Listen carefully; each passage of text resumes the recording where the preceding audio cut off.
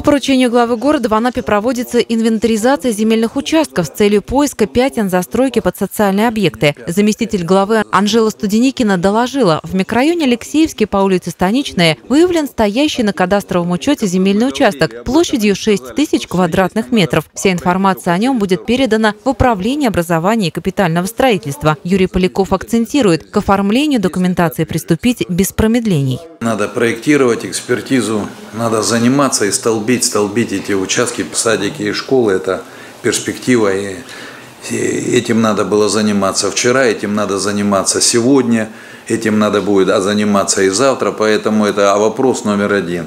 Решается еще один важный вопрос. Ряд объектов социальной сферы получат новые помещения. Многие анапские застройщики откликнулись на обращение администрации и готовы передать квадратные метры городу. Уже подписано соглашение в отношении восьми помещений. Еще четыре застройщика выразили намерение передать помещение муниципалитету, когда их объекты будут достроены. В них расположится отделение почты, опорные пункты полиции, ФАПы. Обсудили на планерке и ход строительных работ тренировочных площадок к чемпионату мира 2000 2018. В станице Анапской ведутся работы на крыше, завезены трубы для котельной. Установка планируется на этой неделе. На объекте в селе Витязево идет монтаж вентиляции. Все работы проводятся в рамках графика.